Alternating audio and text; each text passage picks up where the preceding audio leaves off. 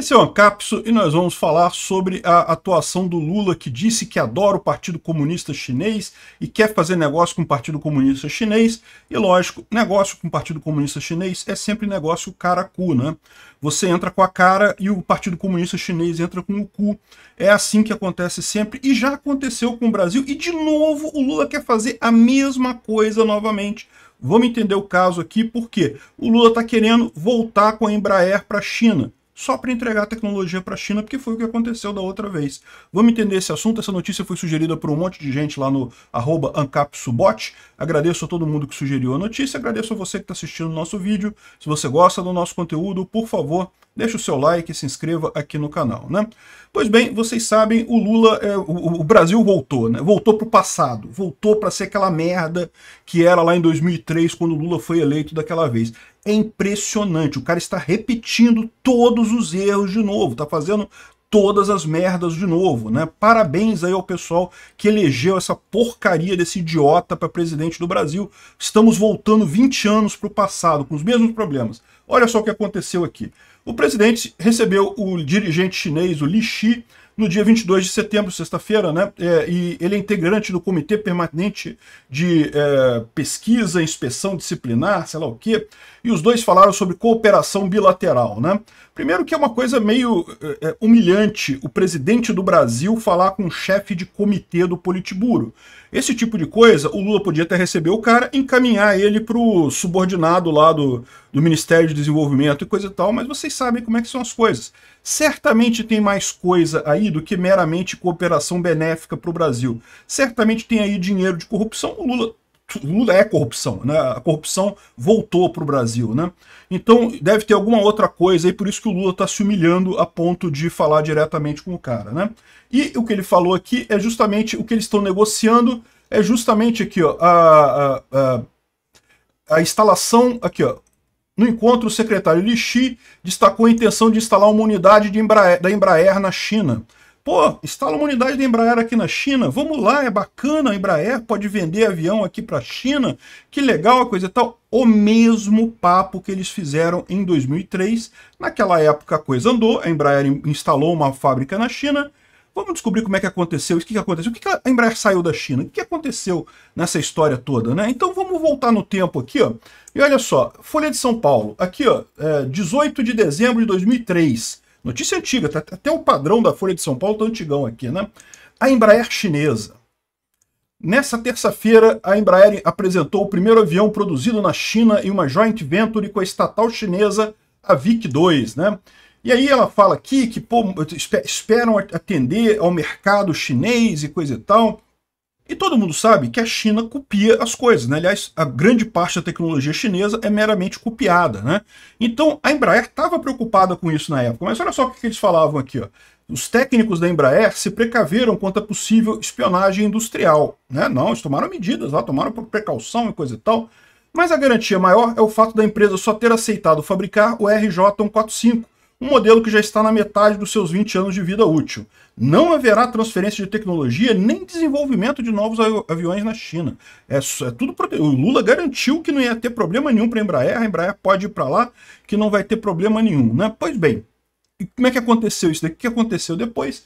Bom, vamos pular aqui para 2015. Então, 2003 começou a produção e coisa e tal. Em 2015, a Arbin Embraer, que é a empresa criada lá na China, né, uma joint venture da, uh, da Embraer com a empresa chinesa, está com problema. Por quê? Porque começa a vender pouco, né? Então, aqui, ó, a, a relação custo é, por assento inviabilizou o projeto. Podemos dizer que o RJ145 perdeu a graça para o mercado chinês. O mercado chinês não estava comprando mais o, uh, o RJ45 em 2015, né?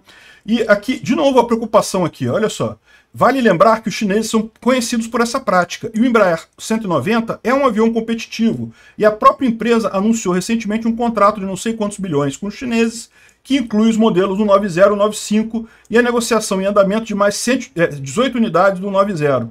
Produzir lá é correr o risco de ver o projeto copiado, sobretudo tendo um sócio chinês, disse a fonte. Ou seja, o, os chineses não queriam mais comprar o RJ145, que era o jato velhinho, e falaram, não, agora a gente quer um 90, mas queremos produzir um 90 aqui, o, o Embraer 190.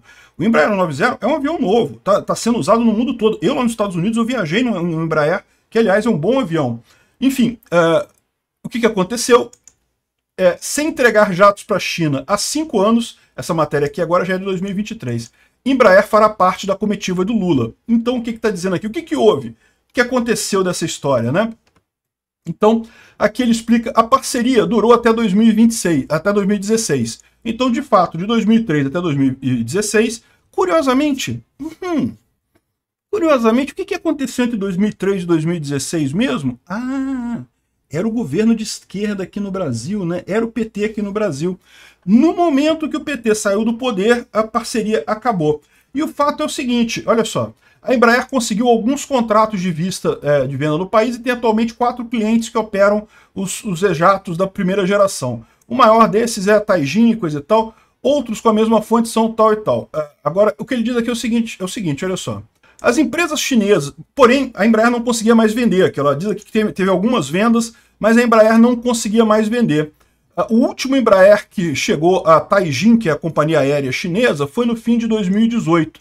Depois disso, olha só, as empresas chinesas começaram a atuar no setor, porém, têm preferido comprar o avião da casa, o Comac ARJ 21-700, que é uma cópia do Embraer. Eles copiaram o Embraer e começaram a fabricar lá. Aí a Embraer não conseguia mais vender lá, e justamente o E190 é o 95, né? Então aqui, ó, ainda nesse período teve até empresa que retirou os aviões brasileiros de serviços e encomendou o chinês, como outras empresas lá, que dá o nome das outras empresas aqui. Então, no final das contas, a Embraer tomou no cu lá na China. Ela foi para lá, começou a produzir os aviões lá, o pessoal copiou as informações dos aviões da Embraer, depois parou de comprar o Embraer. Em 2016 fechou a fábrica, porque não era mais governo de esquerda aqui. E agora não vende mais nada lá. A China agora tem empresas que fabricam e competem com a Embraer no mercado internacional, né? Porque fabricam um avião igual ao da Embraer, ou parecido com o da Embraer. E aí agora, de novo, o Lula quer fazer a porcaria da parceria cara-cu com os chineses, né? O Brasil entra com a cara, a China entra com o cu vai roubar a tecnologia do Brasil e não vai entregar porcaria nenhuma no final das contas, vai comprar uns jatinhos durante um tempo ali, depois vai competir com o próprio Brasil com a tecnologia nova da, da Embraer lá. Eu acho isso aqui terrível, acho uma ideia terrível. Por que, que a Embraer está em, embarcando nessa? Porque a Embraer é uma empresa privada, teoricamente, ela não depende do governo, né? Bom, a Embraer pode estar entrando nesse negócio por pressão do governo. Por mais que seja uma empresa privada no Brasil, meu amigo, existe muita pressão do Lula por esse tipo de coisa. Então, olha só, de novo, o Brasil voltando para trás, de novo vai fazer um programa de merda com a China para vender tecnologia para a China barato, com pouca condição. Os chineses vão comprar meia dúzia de jato da Embraer para dizer que comprou alguma coisa, que tinha alguma coisa lá, depois vão copiar a tecnologia e ó, foda-se a Embraer, né? A não ser que seja pior ainda do que isso. Ou seja, além disso tudo, tem algum esquema aí da China bancar dinheiro para o Lula, porque é muito estranho o Lula falar com um dirigente, o subsidiário de não sei o que lá, né? Geralmente, na diplomacia, o presidente fala com o presidente. Diplomata fala com diplomata, dirigente do partido fala com dirigente do partido, né?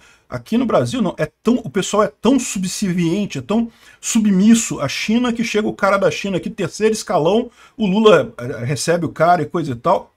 Ou então tem dinheiro rolando por aí, né? É, com Lula, corrupção é a resposta mais rápida. Obrigado por assistir o vídeo até o final.